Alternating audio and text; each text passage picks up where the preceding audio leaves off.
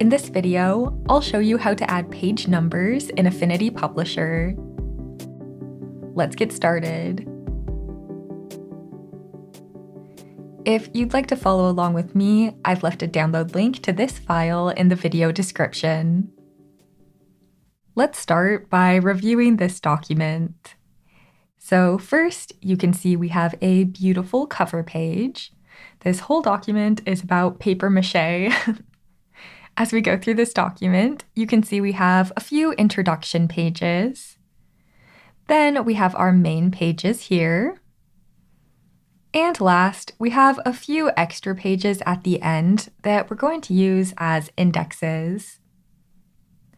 So now that you can see what's going on in the document, let's add page numbers to every page by using master pages. I'll double click on our master page so that we can insert our page number. Anytime you want to add a page number to a document, make sure you select the Frame Text tool, not the Artistic Text tool. So with the Frame Text tool selected, I'll just click and drag a little square down here. And then to add our page number, I'll go to the top of the screen to Text, Insert, Fields, Page Number. Now if I zoom in here, you can see we have our page number symbol right here. Let's go ahead and format this by centering it. Using the Move tool, I'll also make sure this is centered on the page. Then to change the font, I'll just triple click to select it. I'll change the font up here, and we can make this a little bit larger. With that set up, now we can go into our document, and we can see that every left page has a page number on it. I think this looks pretty good, so I'm going to go back to our master page. Using the Move tool, I'll select this page number, and then I'll duplicate it across by holding Command or Control and Shift as I click and drag it to the other side.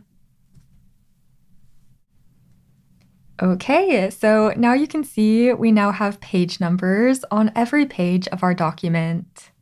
That was pretty easy. Now I want to show you how you can customize these numbers. First, let's go to the cover page. Right now, the cover page is designed in a way where you can't see the page number. But if I designed it a little bit differently, you'd be able to see the page number on this page. If you don't want that there, it's very easy to remove. Just go to the Pages panel and right click on the page then go down to where it says Clear Masters. Now this page no longer has a page number. Next, let's take a look at these introduction pages. Since these aren't really the main part of the document, I would like these numbers to appear as Roman numerals. Wouldn't that be fancy? so to do that, I'll just make sure these pages are selected by double clicking on them. Then I'll go up to our section manager. To make these pages Roman numerals, first I need to create a new section. So click right here to add these pages as a new section.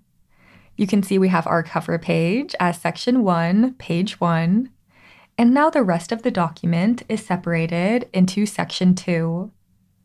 So now we can customize this section over here. First, I'm going to change this from continue page numbering to restart page numbering. I want to change this because it looks like our document starts on page 2, but I want this to say page 1. You can actually type in any number right here and it'll restart the numbering at that page. But in this case, I'm just going to change this to page 1. To make this appear as a Roman numeral, you just need to change the number style right here. And you can see there's quite a few different styles. I'll close out of this, and now you can see these introduction pages have Roman numerals. However, as we continue through the document, the Roman numerals continue. I actually want these main pages to go back to normal numbers, so let's change that. I'll double click on these pages to make sure they're selected, and then I'll go back up to the section manager. Once again, we need to create a new section for these pages. You can see this starts on page 5. I think I would like this to restart the page numbering at page 1. And I want the number style to be normal numbers. So now you can see we go from Roman numerals to normal numbers, and that continues down the document. To finish this document, I want these last index pages to have different numbers as well. So I'll double click on them. I'll go to the section manager and add another new section. I'll restart the page numbering for these and I'll change their number style to the lowercase letters. Then I'll close out of this. So now you can see we have a beautifully organized document with custom page numbers. If you want to learn more Affinity Publisher skills, you can check out my Affinity Publisher course in the video description. You'll learn everything you need to work in Affinity Publisher starting with the very basics and working your way up to more advanced skills. I really think you'll like it, so I hope to see you in the course.